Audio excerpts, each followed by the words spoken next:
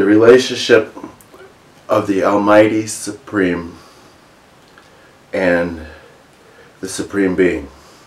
Okay, the Supreme Being is you, a sentient spirit that has eternal life beyond your human experience, okay, temporally, and a personality beyond temporal experience, which is one with God, eternal existential reality experience.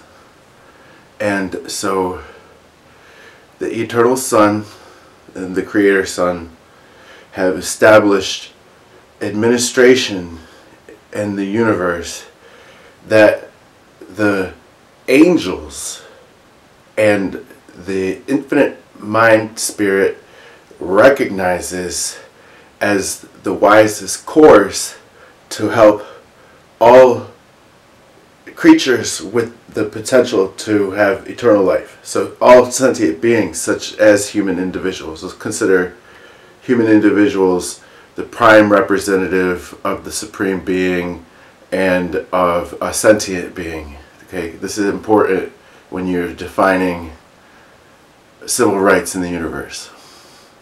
But the Almighty Supreme, through all agencies of, let's say, the third source, through agencies of the mind existentially, impinging upon the temporal fabric of reality, okay, when it enters into actuational temporal pathways, this force of the Almighty conspires in and upon the Supreme Being.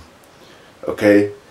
The Supreme Being is gathering aspects and facets of the universe, relationships and obligations towards things, okay, duty to work, and the Supreme Being, okay, don't try to objectify that too much, okay, or be too proud in what I'm trying to tell you, is that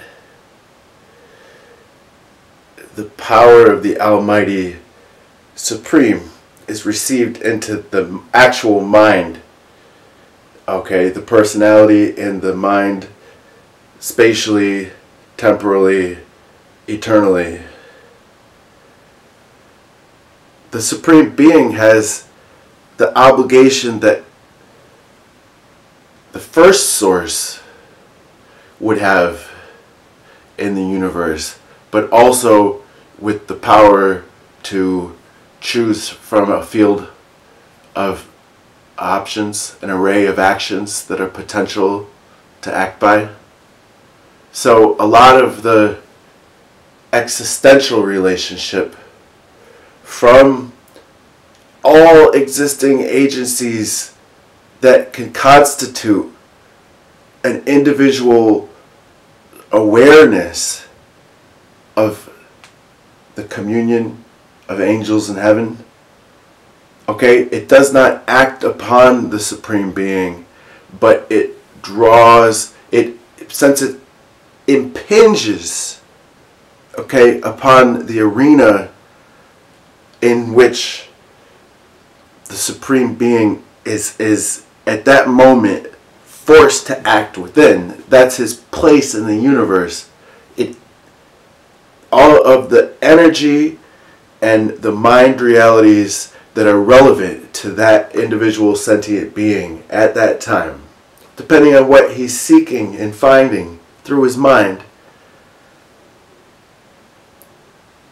all existing sentient beings trying to assist the decision or action potential of the Supreme Being in any moment of time in the universe impinges upon the perception but does not control the action of the Supreme Being. They take that into account. It's a very basis, okay? It's the boundary between where temporal actualities are receiving from existential, eternal realities. Okay?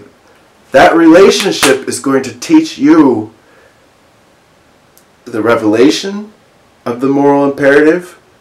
Okay? It's going to help you realize, okay, that the Holy Trinity has that third part where humans are laying the cornerstone of God's kingdom. And so take this into consideration, let it in, okay? The power of the psyche and the choice to draw in considerations towards unto the circumstance of the supreme being because you have to be perfect in order for your choice to be true. So it requires maturation. And there's this relationship that you have from the Almighty Supreme. Your parents are trying to help you grow into it ultimately because your parents are born just like you. They seek the post ultimate potentiation of all wise courses of action, all actionable potential that would lead the sentient being to the fullness of life and the abundance of uh, union with God and life in the Holy Spirit. So that means eventually your completed life experiences, starting from the seventh universe and proceeding to an endless career uh, within the eternal realm means that you prove to God that you're worthy to assist other minds in the same way that every angel and spiritual being that has done God's will continues to do God's will and has assisted in impinging upon your mind the perception, the arena upon which your field of action is seen. Okay? And you're the only person, essentially, who is limiting um, your interactiveness and the host, the potential from which the minds and actors of the Almighty can conspire and they present these elements in and upon, okay? So who's going to receive that? The Supreme Being, okay? And that in order to have these realities gifted to this individual mind in order to have proceeded through the will, through the course of circumstances in time and through the very things that you're trying to work on each day. It's the actuation of the potential for the Supreme Being as an individual, sentient being in the universe to